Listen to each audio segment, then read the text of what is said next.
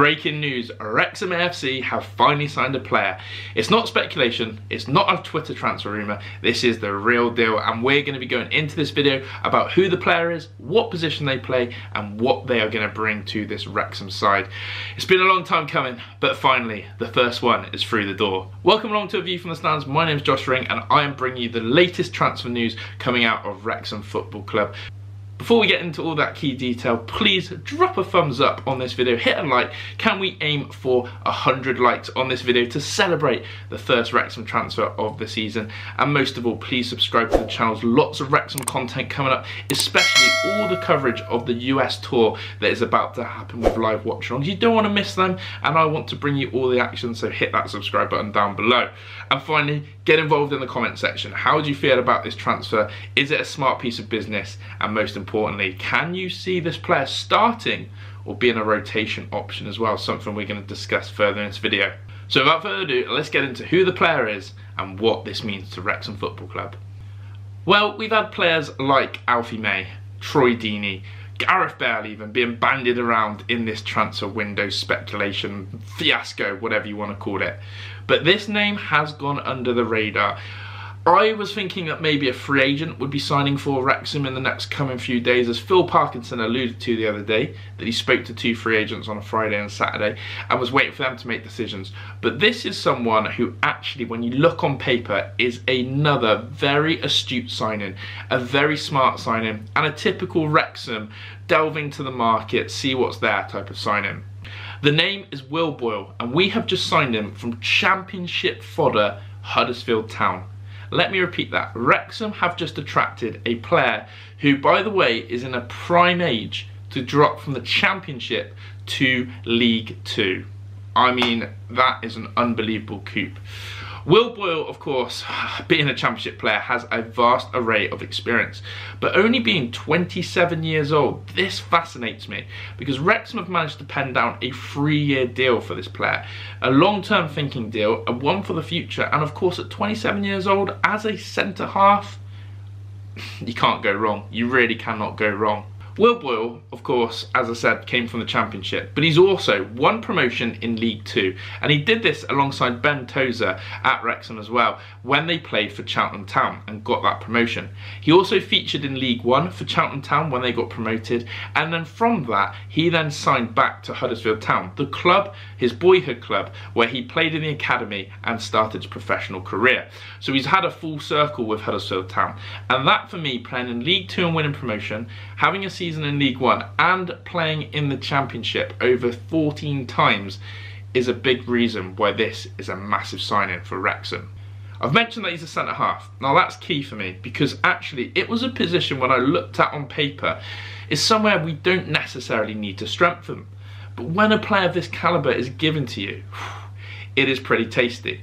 He's a left-footed centre-back as well, which is key in our back three that he plays on that left-hand side of defence. We know that Tozer plays in the middle, and we know that O'Connell usually plays on the right. So there's big questions about that left-hand side, and it definitely is up for grabs. And Boyle coming in, a left-footed centre-half, over six foot two, it's a big profile and a big player needed in that position. So when I sort of mentioned, as I said, the, the names that play in that back three of Wrexham, you've got your Tozer, you've got O'Connell, two players who've been stalwarts, and then you've got two other names in Tunnicliffe and Hayden. Two players who didn't feature as much as they would have last campaign due to injuries and other reasons, and especially with Aaron Hayden. So when you look at that, four really good centre halves, you think, why? Why Phil Parkinson? Have you gone for another defender in that position? Max Cleworth as well, another name that's been appearing a few appearances here and there for Wrexham and helping out in that defence, has also been someone who Wrexham have relied upon. But when you play three at the back, ideally you need five centre halves. You're looking for players who can play in at least two positions in that back line. And with Will Boyle, he definitely gives options in the left-hand side of the back three and in the middle.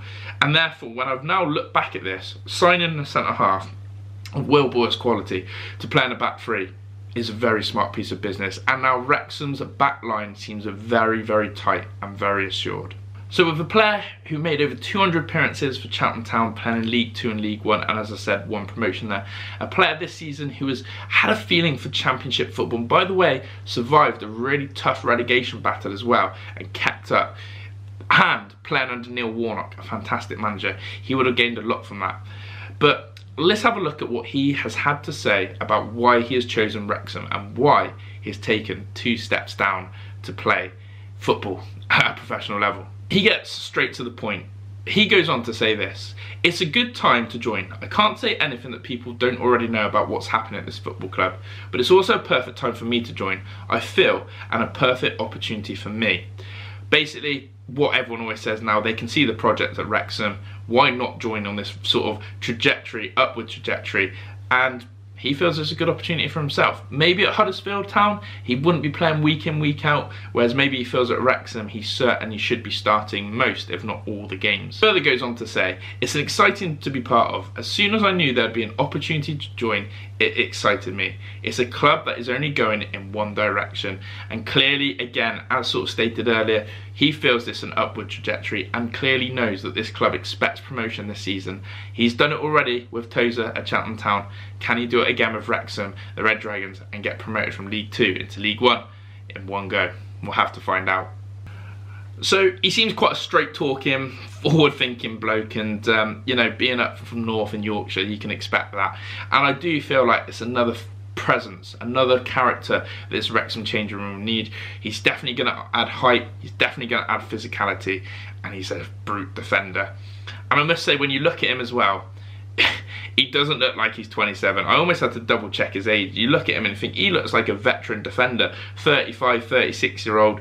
But no, he's a 27 year old, three year deal, gonna take him to 30. If Wrexham continue on that trajectory, he's gonna add value experience in League One and who knows, maybe the championship one day for Wrexham. So let me know your thoughts in the comments. Is this a very good piece of business? Can you see why Phil Parkinson's gone after him? And also, furthermore, is he a starter? Who is your back three for Wrexham? Who would be your back three for Wrexham? Is it going to be Boyle? Is it going to be Tozer? And is it going to be O'Connell as the starting back three? How does Aaron Hayden and Jordan Tunnicliffe break back into that line? Thinking about fixture congestion as well and all the games you have to play, there's going to have to be a bit of rotation there and as well as injuries. It's a smart piece of business and Wrexham, once again, you have nailed it. You have nailed it in the transfer window. Looking forward then, of course, to the US tour. Will Boyle will be able to go over there and experience that. But I do wonder, are Wrexham going to get one or two other names in just before they jet off? We'll have to wait and see. If not, it will have to be business either out there or when they come back. So what position next do you think Wrexham should strengthen? Is it in that central midfield area? Is it another wing back either on the right or left hand side? Or is it a striker maybe up there to partner Paul Mullin? Do you not fancy Palmer and Dalby? I'd love to know your thoughts. But without further ado guys, thank you very much for watching this video. I hope you've enjoyed the information on the new signing Will Boyle and hopefully he will be a big success for the Welsh Dragons and get them promoted to League One. I'll see you on the next one, guys. Thanks for watching. Thanks for hitting that like button. And of course, thank you for subscribing to the channel. Enjoy wherever you may be. I'll see you for more Wrexham content soon. Ta-da!